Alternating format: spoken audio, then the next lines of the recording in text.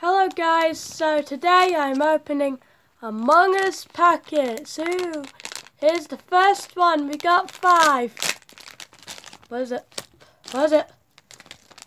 I got one of the rare ones! Uh, uh, uh, this is the purple crewmate, the imposter guy, yeah.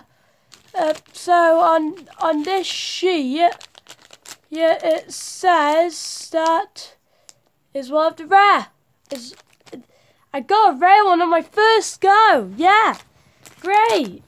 Okay, so I'm going to for another one, and I got a brown guy. This this weird fellow. I have no clue what his name is, and I I don't quite care. I got Mr. Eggy. I wanted to have Bluey and Egg. I combined it so Eggy. Yeah, his name is Eggy now.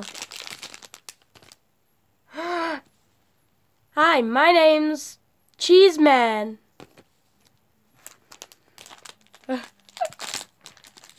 I've got two. I've got another one of these. I've got two of these. So I've got three rare ones. Not really rare, are they? Why don't you buy five and test your luck?